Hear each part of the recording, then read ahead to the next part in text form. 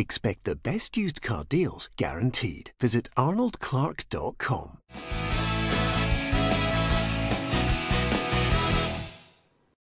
Welcome to Peter and Roughie's football show, sponsored by Arnold Clark. It is Tuesday. Thank you very much for watching the show and thank you for sharing it with your friends as well and subscribing to our YouTube channel.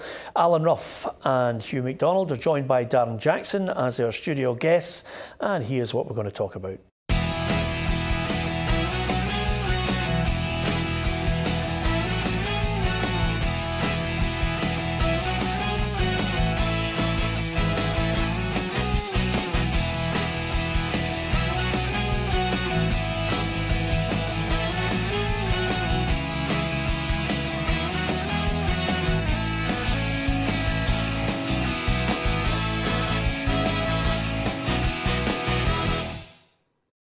Cyprus and Kazakhstan on the horizon for Scotland. Here's the squad that Steve Clarke unveiled today. Uh, you can tell us what you make of that, Roughie. Yeah, well, it's obviously a much of a much. Obviously, the McKenna's back in there, the problem position for us. Uh, we're all hoping that he can be the one that, that settles down that back four. But uh, it's a much of a much for me. I, I, would I think the biggest debate is it three at the back, is it four at the back? We really need to know what formation we're going to be playing, and that's why I hope the next two games coming up we have a settled side. I really do hope that some people really stamp their authority on the next two games because we need to go into uh, the games in March winning games. And the big news is there's no Kieran Tierney, and Steve Clarke revealed that was Arsenal's call. Kieran, uh, Ars well, Kieran's got a, an ongoing issue that Arsenal are keen to address in the next international break, and Arsenal asked us not to select him. Yeah, it's a little bit frustrating. It's obviously frustrating for Kieran as well, but we have good cover in that position. Should we be angry at his omission, Hugh McDonald? No, we can be frustrated and uh, can be disappointed, but in the, in the real world, there's no point in being angry. Um, going forward, Steve Clarke's got to deal with Arsenal hopefully over a couple of years with, with, with Kieran Tierney. So there's no great point in, in throwing toys out of the pram over this. The club has obviously decided that they want to do uh, continued rehab work on, on Kieran. There's not much point in arguing actually. It's just getting on with it. Another thing as well is it's not as if you know, he's the centre forward, that's scored, the only centre forward we've got that's scoring goals, or the only centre half we've got.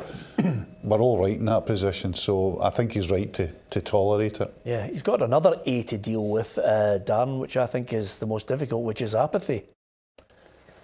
Yeah. Um, the, the biggest problem, the biggest, I think if this was the playoffs, he would be in.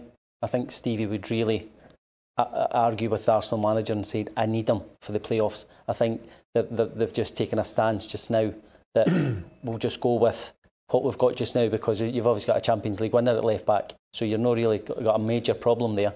Um, but I do think if it was the playoffs, Stevie would have a, a, a more discussion and be more forceful. Um, with picking Kieran Tierney. Yeah, I, I think the decision coming, um, and I'm only giving you an insight into chats that I've had, um, Hugh. I think Kieran Tierney is going to be left of centre if they're going to play a certain way. I think he's the two centre halves. He's left of mm-hmm. centre in that team, and Andy Robertson's left back. Yep, well that'd be one way of getting yeah. both into the team. And and when when we're talking about Scotland, we know that, that what, literally what Stevie Clarke's got to do is manage. I mean, he can't obviously he can't recruit, so he's got to coach and he's got to he's got to look at what he's got and say, well, these are the pieces I've got. How do they fit together best? you're going to say to yourself, I've got a player at Arsenal and a player at Liverpool. I really want them in my team. And that, that would be, to me, the only way to get in the team. Because see this idea of playing uh, Kieran Tierney at right back, I don't think really works. And playing, uh, you know, playing Robbo uh, at left back, with, with Kieran maybe in front or one of that doesn't work either. So yeah, it would be a three-five-two or a three-five-one-one for me. Yeah, and as time progresses, we're all keeping our fingers crossed, Roughie, that suddenly you start to see a Steve Clarke team, which mm. is eight or nine Stonewall certainties and two or three who suddenly force themselves into his thoughts. Yeah, well, I think it's that's why it's important. You know, this first game that we play, the 11 guys on the park are the 11 guys that he thinks are the ones that are going to be there or thereabouts in March. And, and you give them the two games. You don't start pulling people out. And, you know, I would like to think he's made up his mind. I think we all got a good idea who should be in midfield. I think we've all got a good idea who should be in defence. Up front as a toss of the coin. Uh, but I really do think we need to go into these two games strong and we need to win them. No draws or anything like wins going into March. Yeah, and of course, uh, even the manager is hoping that he can get a settled 11. Exactly that. Just trying to get a little bit of familiarity. Most of the same old faces in the squad again. Uh, they'll get used to me, I'll get used to them. So, no, I look forward to two good games. Yeah, let's hope we get some positive results just to give us a little lift in the country and hope for uh, all roads leading to March and, of course, the, the playoffs. Uh, now we switch our attention from international football to domestic issues, and, of course, uh, the race is on to see which half of Edinburgh gets the best candidate for the uh, Hearts or Hibs job because it looks as if it could be a race. Is it a race for Stephen Robinson? I think, my opinion, yes. Um, I think he's the best candidate. Um, you see other managers that are in the frame, and they're good. They're good managers. Um, Alan Stubbs has been mentioned again, who did a fantastic job there. Um, I'm sure the fans would love Gordon Strachan, who I think would do a fantastic job. But I think the, the best candidate would, for the job he's done at Motherwell, um, for the, the way he's changed the, the way they play, um, his style, his man management, his enthusiasm, I think Stephen Robinson's the, the, the top target. And do you think if Hearts or Hibs get Stephen Robinson, that's top six finish and above your city rivals? Well, you can't guarantee anything, but I think you're getting a good, a good manager that you're going, you're going to go the right way. Um, I think he gets the most. His recruitment's fantastic. I think he gets the most out of the players that he has. Um, I've watched him on the training pitch. His enthusiasm, his attention to, to detail is, is wonderful. And um, so I think there's no doubt that for me, he should be the top target for both. Let me ask that question to you, Hugh. well, it, it, all management's a risk. All management and all you know, all recruitment of managers is a risk. But what you've got to look at is Robinson, the knowns, what you know about Robinson, and you know that he can manage at a level uh, where it's not a big budget. You know he can buy good players. You know he can organise teams. And you know that players play for him. Uh, there's no doubt about that. And he's also managed to switch styles as well. So yeah, I think if you buy, I mean, if you're bringing Robinson, we know there's no guarantee.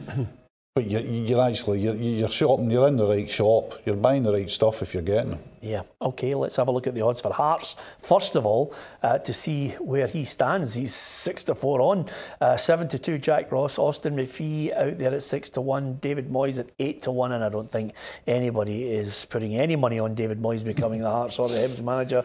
Uh, and if you are, uh, then you're a millionaire who's just ruining tenors right, left, and centre. and, if, and if Roy Keane turns up at Tynecastle, I'm taking this entire team to Disney World if you back if you back Roy Keane, I've got a bridge to sell you. and, uh, and John Robertson at twelve to one for me is amazing. Uh, Roughie, I mean, I'm a big fan of Robles. I think well, the only thing he got wrong at Hearts first time around was Vladimir Romanov. yeah, I think we all know that. But I mean, the more Anne Budge comes into these press conferences and she keeps saying, that I want a high profile manager, that, I don't think that brings Robbo into that consideration. I think she's thinking higher than that. I don't know what she's. I don't know what she's thinking about, but she wants a very, very high profile. I don't agree with you, Roughie. I think from what she said yesterday, she's looking for experience. I think it's important, but I don't think it's a be all and end all. Um, we've seen we've seen it work before for others who've uh, come in without that. That said, Scottish football is a bit different, so uh, we won't be ignoring the the uh, impact of having Scottish football. Remember, this is a manager that's got to get them out yeah. of the mire. I, I, just feel fans being fans, you know, I've got a wee bit fed up. You know, Legends have been the manager of the club and they want something different. That's just my opinion. I, I might yeah. be wrong, but I just feel Craig Levein hasn't helped his case any at all. You know, yeah, because but, I think supporters are. But with all due respect, Roughie, Craig Levein shouldn't have got the job in the first place. Craig Levein's CV mm. did not suggest to anyone that he should have been the Hearts manager. Mm. Craig Levine suggested Craig Levein for the Hearts manager's job. I mean that. I mean that's it in a nutshell, Hugh. You, you know he wasn't he wasn't the ideal number one choice. And if you remember the hmm. shambles that went on before it, suddenly they were looking at this one, that one, and then pff, out comes Craig Levein. Yeah, that, that ended up a situation. We're not we're not talking about hindsight here. We, we spoke about it at the time. It was a mad situation where you you've got a director of football, you know, appointing himself. The great conflict of interest. Great, you know, the whole model disappeared. The whole model of the club disappeared. Then. So yeah, they're going to have to go back to basics. It's very interesting with Anne Budge talking about you know having a sporting director as well. How he or she will come in and uh, she was quite uh, clear about what areas that they thought they should be uh, on their recruitment, sports science, etc., etc. But how a manager works with a sporting director is, is crucial at any club. Yeah, hundred percent. They need to get on. Um, the, the manager needs to know he's going to sign players that he wants, not gifted or not given to him, and he has to put them in his team. There has to be a great relationship there. I'm not against, so he can get on with his work, going and signing the players that they want. Not, not that he wants. Yeah. So, um, as Is this say, by committee or the manager saying, I have got a list, get Well, me, get me option one. If you can't get me that, I'll take option two. Yes, probably, but they can have a, a discussion about it. The sporting di- director can come up with players and say, "What do you think of him?" What, yes, I like him. Yeah. No, he's not for me. But as long as the manager has the last say in it, because he's coaching the players. That's not always the case now, It's, Dan. well, it's not. Um, it's not the case. It's the, that's the players. You go and coach them and make them the, what we, we think they should be. Yeah. But I think the manager should always have the last say. Yep. Um, and now, if you want to look at what's happening across the city, uh, they are no better placed than Hearts for this one. Uh, they've got undoubtedly, I think they'll get 50, 60 applicants, maybe even more looking for this job. Jack Ross, 2 to 1 on to be the favourite man uh, for the job. Stephen Robinson, 8 to 1. Gordon Strachan, 8 to 1. John Hughes, 12 to 1. Alan Stubbs, 14 to 1. And David Moyes, 20 to 1 for the guy who's still throwing tenors into the fire. Um, anyway, apart from, apart from anything else, I'll, I look at the, the, the list there and I'll tell you right now, if they suddenly rolled out Gordon Strachan, I would look and I'd say, wow, Hibs mean business. They're not at that level anymore. No, and it'd be interesting to see what Gordon's views are, are, are on it as well. You know, he would be the supporters' pick. There's no doubt about that. He's Hibs through and through.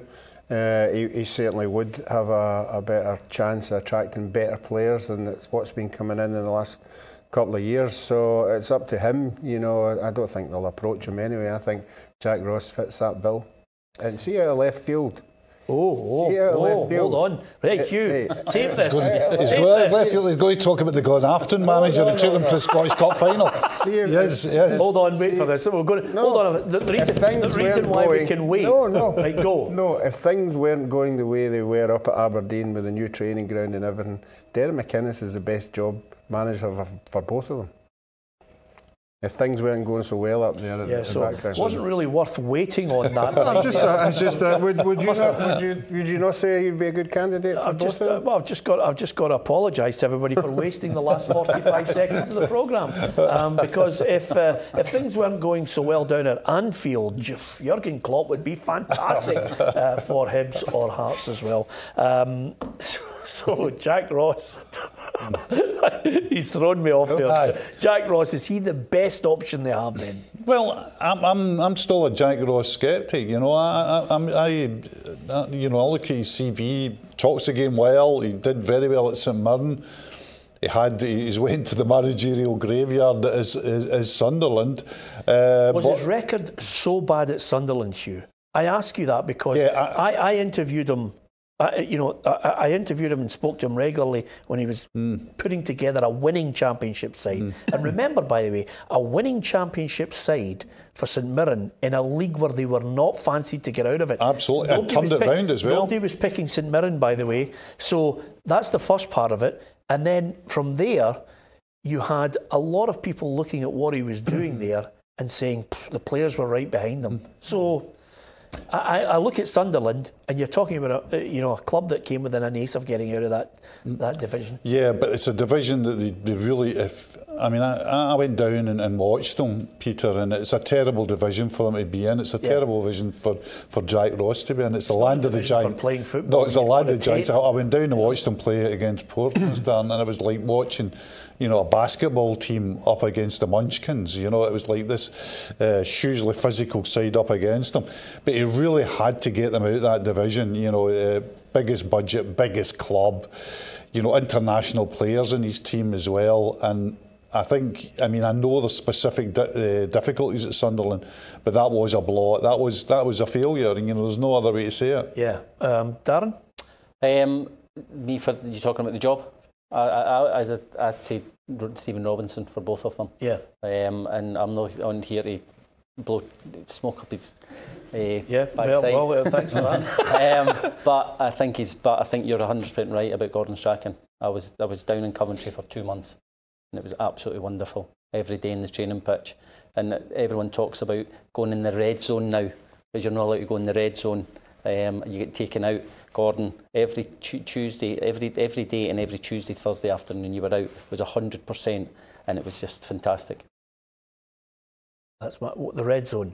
The, re, the red zone when you're when you, the heart rate monitors, you're not allowed to go into the, the, the red zone now. Yeah. So it's um, uh, and I think that's too much now. And I, and I know uh, that Gordon isn't too mm. keen on that either. Yeah, I, I, You've always got the red zone when you're playing tennis well, with Roughie. Honestly, Hugh, you will never believe this, by the way. if that's the case, I'm in, I'm in, the red zone every week because I am doing doggies across the tennis court. I, I, need, I need to get somebody to help me. It's as simple as that. Anyway, you know that blank look in my face, and I thought, oh, here he is. He's got his technical term from his coaching manual. That's the danger of getting somebody on that knows something about football. Should never go down that road yeah. again. Peter. I don't know why we said I know that's against the policy. I, I, know you said to me, but I, I went against your wishes. Um, okay, talking of, uh, well, here's the perfect answer before we finish this programme because I don't know about you, but Tuesdays and Wednesdays, I love Champions League football, um, and I just wish we had Scottish clubs involved in it. So here we are.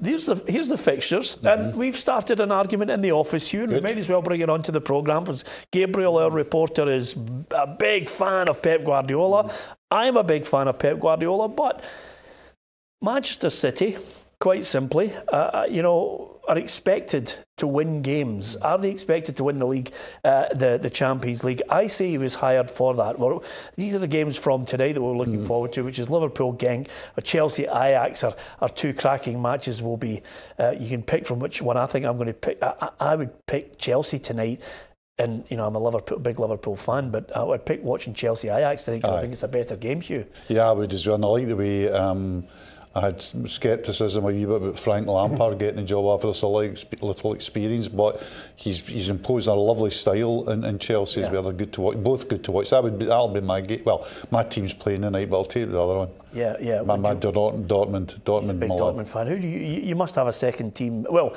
you must have a ninth team because you have you have seven or eight that you don't want to offend, and then you must have a ninth team, surely. I love watching Pep's teams. Yeah. Um, I think they're absolutely wonderful to watch. But I think you're right. I think they need to win the Champions League. Winning the league, yes, it's, it's great for them, the money they spend. But Pep's there. He's a, he's a manager. He's the, the biggest for me. To win the Champions League? I think slowly but surely. I mean, you know what our fraternities like you. They'll start to turn and say, well, wait a minute, all this super team, this lovely football, you got to you, you got to win the Champions League. That's what the Man City fans want. Mm. Uh, I think that's what Sheikh Mansour wants as well. I mean, with all, all due respect, you're not you're not paying that money to. I mean, the EPL is a big league with big returns, but you're not paying a lot of money just to win the EPL. And I think the way as well, Guardiola, and we know he's a great coach. There's no cannot be any doubt about that. But we know he can he can get things wrong in big matches. You know, he, he can be too clever at times. I think in big matches. Yeah. And what what's come up is a lot of times in Champions League semi-finals he's failed, and he'll not be allowed to continue. I think he's safe whatever he does at Man City. Yeah. But he'll not be allowed to get away with that with the press, I don't think. Yeah, uh, um, Atalanta could be in for a hammering again, Roughie. I, I, don't think I'm, you know, putting my neck on the line there. But what's your take on it? I think he, uh, I think he has to deliver the Champions League, and I think he has to deliver it this season. I think he'll believe that he, he, will, you know. But for me, he's got the goalkeeper that can mm-hmm. win it for him. I still don't think he's got the centre halves, uh, and I would like to see an out and out centre forward, Lewandowski, something like that. I know Aguero's top notch, but I don't think he's got enough power behind that, you know. But uh, Paris Saint Germain for me. What? Mm. Yep. Paris Saint Germain to yep. win the Champions League? Yeah, yep. I'm sticking in with them this Managed by Gordon Strachan. yeah. Roughie. Roughie. Jerry McInnes is number two. Could see it coming, could see it coming. Well, I had to yeah. pause. If it's, uh, certainly the twist of it, Aberdeen. McInnes is on his way to PSG. Uh, listen, we like to talk about winners. Uh, let's uh, give you the names of the winners of our competition for Stevie Naismith's signed Hearts top. Scott Allan signed a Hibs top for us as well. Uh, and here are the winners of the competition.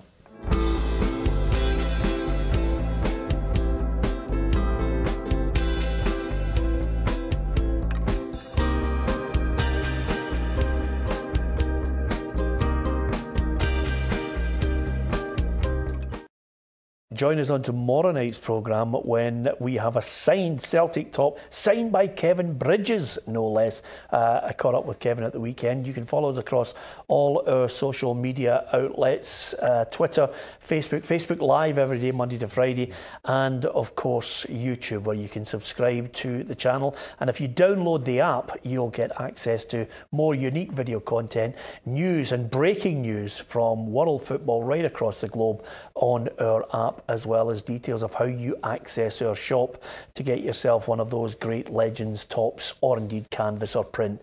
So, all that remains for me to say is uh, goodbye from uh, Hugh McDonald, uh, Darren Jackson, and of course Derek McInnes's agent, Alan Rough, who's here on the show. Thanks for watching, everyone.